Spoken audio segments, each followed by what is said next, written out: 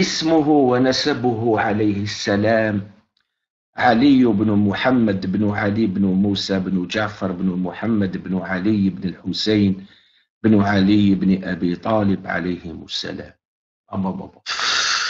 ترتجف. لما تقرأ هذا النسب ترتجف. لعنة الله عليكم يا أتباع السقيفة ويا أصحاب السقيفة ومن ابتدع السقيفة ويا أتباع ابن الصحاك لعنة الله عليكم يا خبثاء. تركتم هذه الأنوار واتبعتم هؤلاء الملعونين. لعنة الله عليكم. والله ستندمون يوم لا ينفع الندم أخزاكم الله يا أبا عائشة وأمثالك. تقارنون الإمام الحسين عليه السلام بهذا النجس. ابن ميسون وما أدري شكون لعنة الله عليكم.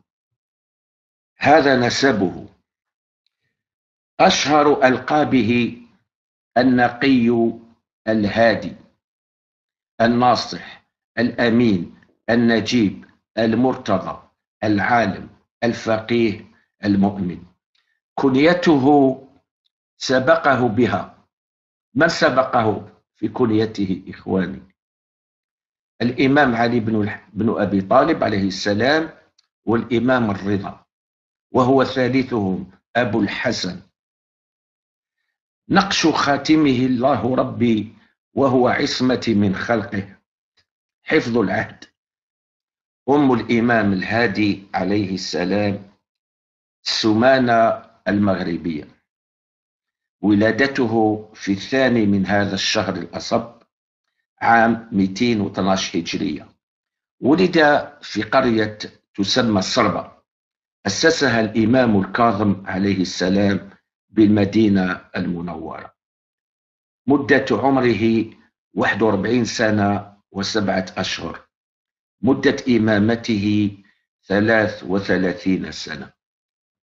هو أصغر إمام تولى الإمامة قبل أو أقول بعد الإمام الحجة عجل الله فرجه. مدة إمامته 33 سنة وتسعة أشهر أي من آخر الشهر ذي القعدة عام 220 وحتى يوم الاثنين 26 رجب آه جماد الثانية أو ثلاثة من شهر رجب.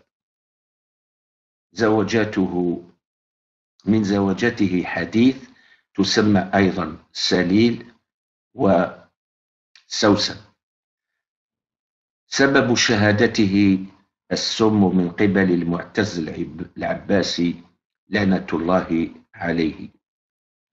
مدفون في مدينة سمراء. هو وابنه كذلك. الإمامان العسكريان في سمراء. الصلاة على الإمام علي بن محمد الهادي عليه السلام.